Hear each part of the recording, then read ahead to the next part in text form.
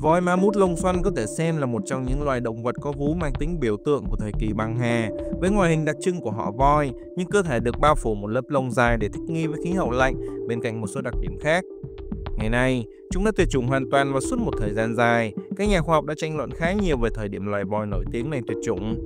Các giả thuyết phổ biến nhất trước đây cho rằng voi ma mút lông xoăn tuyệt chủng vào khoảng hơn 10.000 năm trước trong một sự kiện gọi là tuyệt chủng kỷ đệ tứ, xảy ra do biến đổi khí hậu cũng như một phần do sự trỗi dậy của nhân loại. Tuy nhiên, những bằng chứng mới đã khiến cho quan điểm này phải thay đổi khi chúng ta phát hiện ra dấu tích của những quần thể voi mammoth cuối cùng có niên đại gần đây hơn, chẳng như khoảng 5.700 năm trước ở Yukon, Canada, hay khoảng 4.000 năm trước trên hòn đảo lạnh giá Wrangel thuộc Nga. Điều này đồng nghĩa với việc voi mammoth đã tồn tại đến tận lúc con người bắt đầu xây dựng những nền văn minh thời cổ đại rực rỡ, chẳng hạn như Ai Cập đã xây xong kim tự tháp Giza vào năm 2600 trước công nguyên. Một nguyên nhân chưa rõ nào đó đã tiêu diệt những quần thể cuối cùng và khiến cho giống loài vĩ đại này bị mất mãi mãi.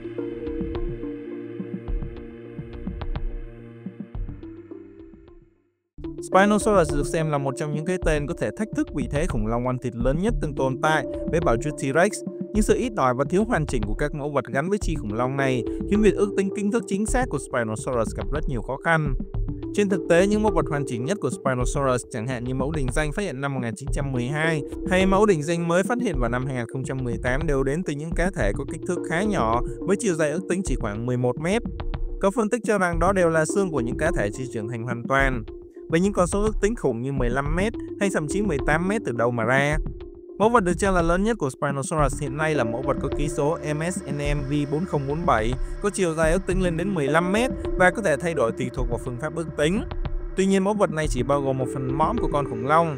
Để có thể ước tính chiều dài của Spinosaurus, các nhà cổ sinh vật học hiện vẫn phải dựa vào tỷ lệ của các loài họ hàng có hóa thạch đầy đủ hơn như Suchomimus hay Baryonyx. Chắc chắn con số này sẽ còn gây tranh luận rất nhiều trong tương lai.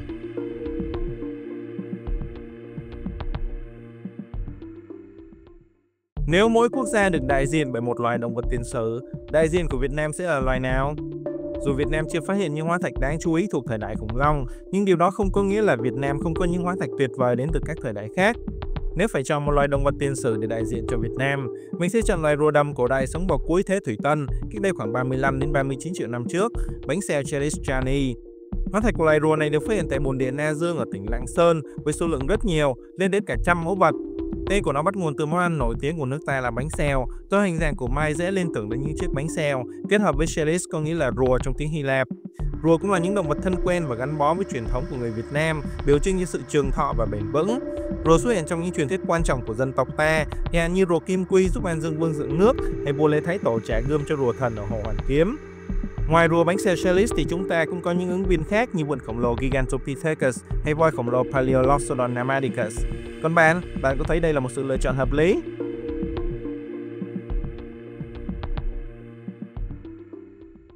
Nói về đôi tay nhỏ bé của T-Rex, đã có quá nhiều nghiên cứu, quá nhiều bài viết và tranh luận xoay quanh việc tại sao một trong những loài săn mồi trên cạn đáng sợ nhất lịch sử trái đất lại sở hữu một đôi tay bé nhỏ, chỉ dài chưa đến 1 mét so với cơ thể 12 đến 13 mét của nó.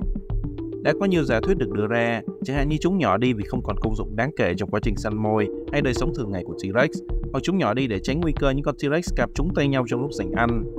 Tuy nhiên, một trong những giả thuyết gần đây dựa trên góc nhìn về cơ sinh học của tiến sĩ Mai Habib thì lại có cách lý giải khác. Theo Mai Habib, T-Rex đã hy sinh đôi tay để có lực cắn lớn hơn. Lực cắn lớn cần một cái đầu lớn để cắn những cơ hàm lớn và cực khỏe. Cái đầu lớn lại cần có một cái cổ đủ mạnh để nâng đỡ và di chuyển nó, và cơ cổ cũng phải rất to khỏe. Vị trí để cơ cổ bám vào thường là các xương ở vai, cũng là nơi các cơ ở cánh tay gắn vào. Do đó, cánh tay buộc phải nhỏ đi để các cơ cánh tay không chiếm quá nhiều không gian ở đây. Kết quả là theo quá trình tiến hóa thì tay của các loài bạo long dần nhỏ đi, dù không đến nỗi vô dụng hoàn toàn. Còn bạn, bạn nghĩ sao về đôi tay của T-Rex?